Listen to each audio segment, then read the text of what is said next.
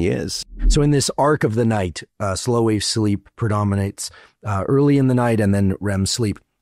There's a scenario that many people, including myself, experience on a regular basis, which is they go to sleep, sleeping just fine. Three, four hours into it, they wake up.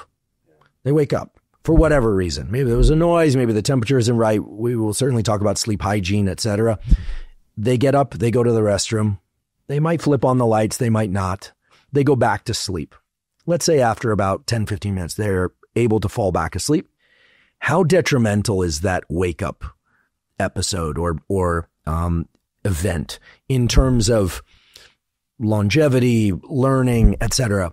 It is perfectly natural and normal, particularly as we progress with age. At the end of our REM sleep period of the 90 minute cycle, almost everybody wakes up and we make a postural movement. We turn over because we've been paralyzed for so long and the body will also like to shift. For the most part, I think we can be more relaxed about that. Where we have to be a bit more attentive though is if you are spending long periods of time not being able to get back to sleep. And usually we define that by saying if it's been 20, 25 minutes.